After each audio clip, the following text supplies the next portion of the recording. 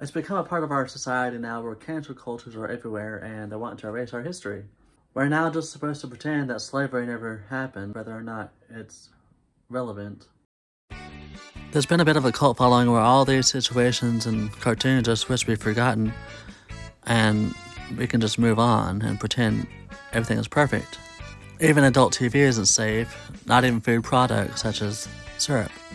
Taking Aunt Jemima from the product that's been there for years I think does more harm than help. Hiding history doesn't change the fact that it happened, and sweeping it under the rug is just a slap in the face to those who were killed and lived as slaves. Like, we don't want to remember that time, yet they lived it. They deserve to be remembered, not forgotten. Some of these stories and designs are questionable, but like any movement, it was a long time ago. As many of you know, Space Jam 2 is being made, with the Looney Tunes returning except for Pepe Le Pew, due to the controversy of him supposedly stalking a woman, which is a cat. But back in my day, the comedy did, did come from him mistaking her for a skunk. And she didn't want nothing to do with him because of his smell. It's a popular trend now, classic cartoons are being rebooted, like Garfield and now Space Jam. But anything that doesn't fit in today's standards is taken away. Speedy Gonzales, who also won't be making an appearance, either due to him being a stereotype of Latinos, even though many of them have claimed to have loved the character. Looney Tunes isn't the only ones getting removed, as Disney Plus is now facing the same backlash as Peter Pan, with the Indians being referred to as Redskins in the film, and Dumbo, with the crows resembling black people, and the Aristocats. There's still several titles that portray and over exaggerate their certain characters for entertaining purposes.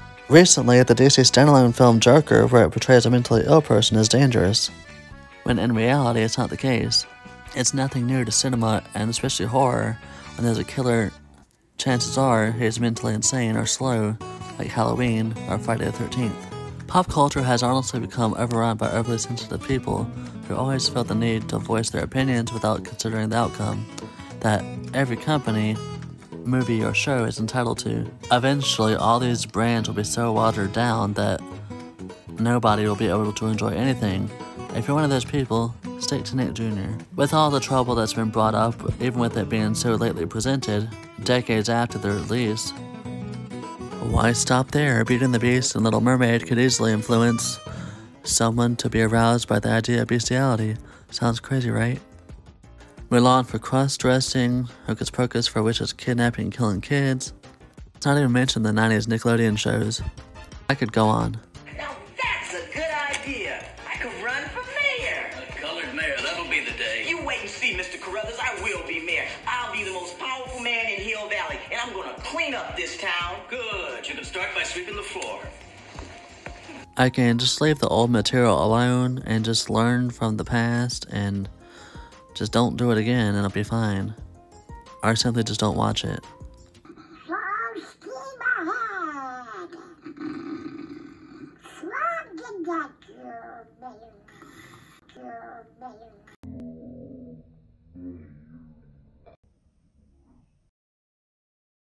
So that's my thoughts on the movies that have gotten so much backlash.